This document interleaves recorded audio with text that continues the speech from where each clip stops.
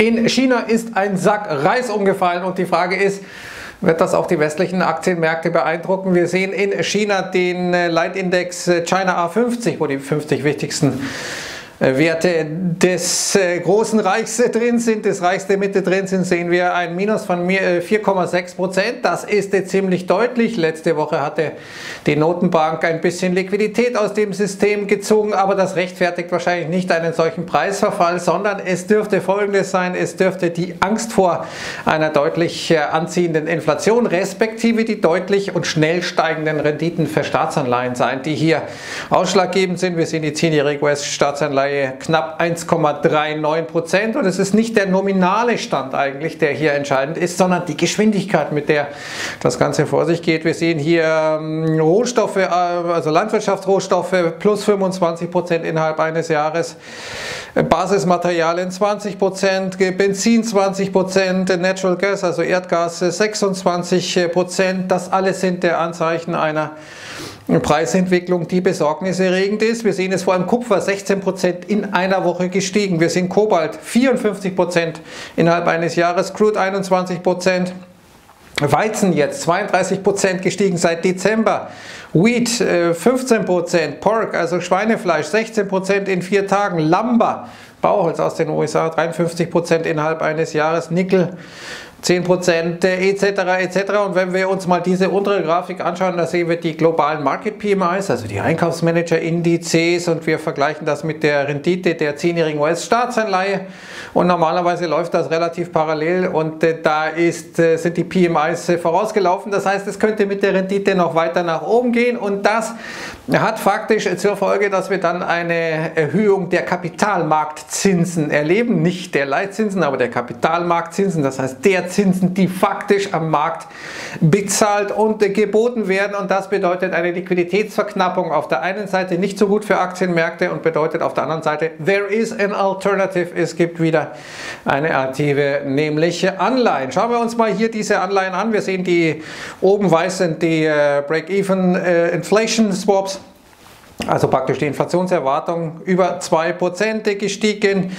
Äh, wir sehen äh, hier unten die reale Rendite ähm, bei der 10-jährigen US-Staatsanleihe jetzt nur noch minus 0,80% immer noch deutliche Minus, aber eben deutlich weniger. Und wir sehen äh, die blau hier die Rendite der 10-jährigen US-Staatsanleihe und wir sehen, dass die Inflationserwartungen auch in der Bevölkerung nach oben schießen. Das haben wir bei der Verbraucherstimmung der Uni Michigan gesehen. Da erwartet man äh, eine Inflation von 3,3 Prozent in den nächsten zwölf Monaten. Das ist äh, doch eine ganze Menge und wir sehen noch weiteres Potenzial möglicherweise hier in dieser Copper-Gold-Relation, also Kupfer.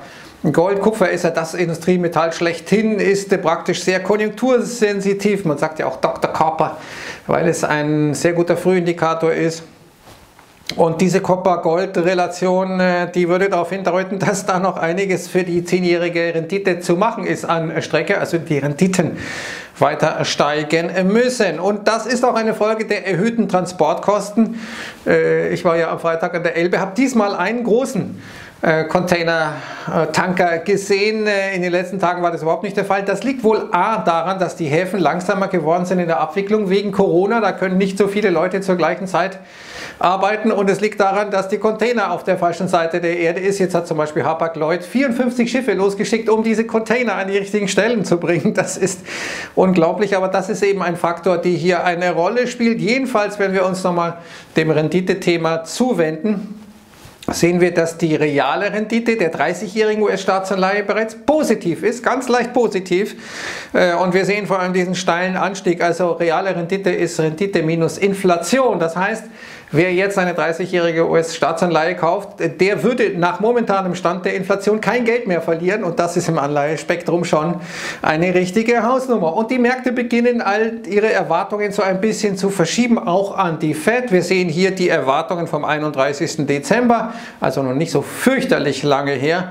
Und da hat man gedacht, okay, vielleicht so die ersten Zinsanhebungen hm, in Richtung 2025 und jetzt steigen diese Erwartungen von ansteigenden Zinsen gemäß den Fed Fund Futures, die das praktisch einpreisen, doch relativ deutlich äh, an. Und das ist eben alles das, was äh, jetzt äh, einen sehr, naja, euphorischen Aktienmarkt ein bisschen nachdenklich macht. Hier sehen wir, by the way, mal die Rendite der zehnjährigen australischen Staatsanleihe. Und hier sehen wir vor allem in den letzten drei Tagen massive Aufwärtsbewegungen. Jetzt 1,57 äh, Prozent für eine zehnjährige US-Staatsanleihe. Also noch etwas höher als die amerikanische. Ja, wer würde eigentlich profitieren von einer steigenden Rendite? Normalerweise der Dollar. DXY, das ist das Symbol hier. Dann eher größere gegenüber kleineren Unternehmen. Erinnern wir uns, wir haben gerade im Bereich der kleinen Unternehmen Small Caps, Russell 2000, massive Rallies gesehen. Topics, japanischer Aktienindex läuft dann ganz gut. Iron Ore läuft ganz gut. Also ähm, jetzt habe ich das Wort vergessen. Iron Ore, was ist das? Äh, Eisen, blub, blub, gell? Äh, und wir sehen äh, vor allem auch Finanzwerte, Kupfer etc. etc.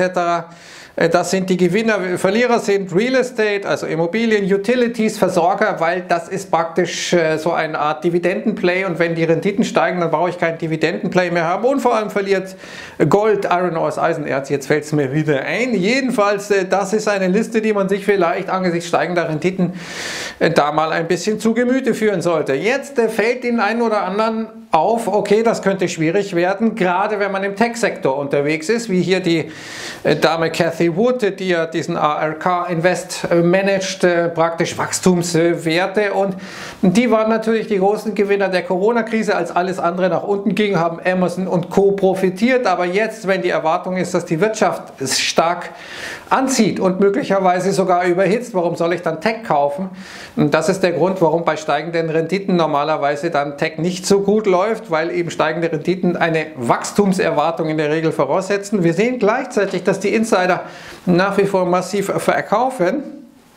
Also die Ahnungslosen offenkundig und jetzt warnen auch Leute wie Michael Berry, äh, der sagt, ich habe letztes Mal auch gewarnt, nämlich damals vor der US-Immobilienblase, Michael Berry ja bekannt aus The Big Short.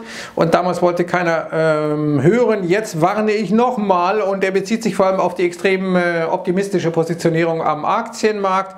Hier sehen wir nicht nur den Margin Debt, also die Hebelung, äh, praktisch, wie stark die Leute gehebelt hier im Markt sind, sondern vor allem auch diese Call Options, die, äh, die Optionen, die hier eine riesige Rolle spielt. Wir machen da neue Allzeithochs, was die Volumina betrifft und wir sehen hier nochmal praktisch dieses Allzeithoch. Es war noch nie so stark gehebelt wie derzeit äh, am Markt. Das heißt, da sind alle All-In. Wir erreichen jetzt auch nominal ein neues Allzeithoch, 20,6 Milliarden im Januar sind dazugekommen auf knapp 800 Milliarden. Das ist ein neuer Rekord und 319 Milliarden höher als äh, im Tief März 2020. Wir sehen gleichzeitig den Breath auf einem neuen Allzeithoch, also die Marktbreite.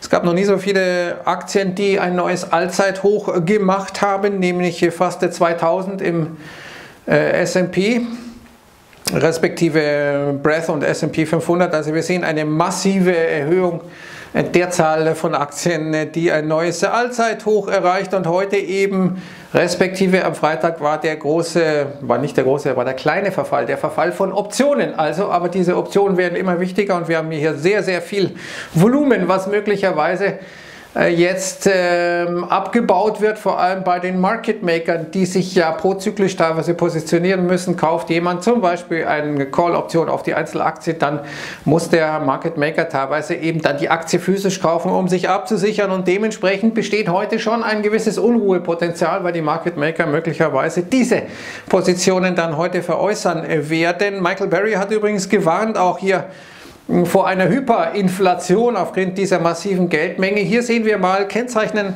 Kennzeichen aus der Weimarer Hyperinflation, die ja inzwischen praktisch als das Paradigma für eine Hyperinflation schlechthin gilt. Und wir sehen, das war 1918 war die Inflation noch einigermaßen im Griff, nur 21 Prozent Geld, das ist ja praktisch gar nichts, aber dann mit Beschleunigung der Geldmenge nicht mit der Geldmenge, sondern der Umlaufgeschwindigkeit des Geldes, da begannen dann die Dinge außer, äh, aus dem Ruder zu laufen. Und genau das ist eben der Punkt. Äh, wir haben so lange keine wirkliche Inflation, solange die Geldmenge sich nicht deutlich beschleunigt. Das ist zuletzt eben noch nicht so wirklich passiert. Aber wenn das passiert, dann ist eben die Frage, kann die Fed das irgendwie noch einfangen? Können die Notenbanken das noch einfangen? Was kann man tun, um das zu verhindern? Vielleicht ist eine Inflation leichter zu bekämpfen als eine Deflation, aber eine Inflation ist eben auch ein Vertrauensthema.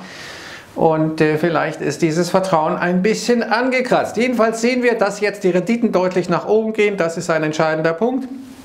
Das sorgt für Nervosität bei gleichzeitig extremer Long-Positionierung am Aktienmarkt, der ja sozusagen die beste aller Welten eingepreist hat. Aber es ist eben gerade für Wachstumswerte schwierig, wenn die Renditen deutlich nach oben gehen. Das ist für die Aktienmärkte schwierig. There is no alternative. Doch es gibt dann eben zunehmend auch eine Alternative. Und äh, das ist jetzt äh, die spannende Beobachtung. Je schneller der Anstieg bei den Renditen passiert, umso gefährlicher für die Märkte. Wenn das so langsam passiert, dann ist das eher nicht so ein Problem. Dann gewöhnt man sich dran. Aber es ist eben die Geschwindigkeit, die hier von entscheidender Bedeutung ist. Mal sehen, ob China hier einen Riecher hatte. Ich bin gespannt auch, wie die Amerikaner vor allem im Tech-Bereich agieren mit dem Abbau der Call-Optionsbestände respektive der Hedge-Positionen ähm, der Market Maker. Das könnte ein sehr, sehr volatiler Tag werden. Heute um 10 Uhr, apropos Weimarer Republik, äh, wollte ich noch zeigen, kommt der IFO-Index. Äh, das wird auch ein Hingucker. Also Ihnen jetzt erstmal einen guten Start in die Woche. Ich sage Servus und Ciao.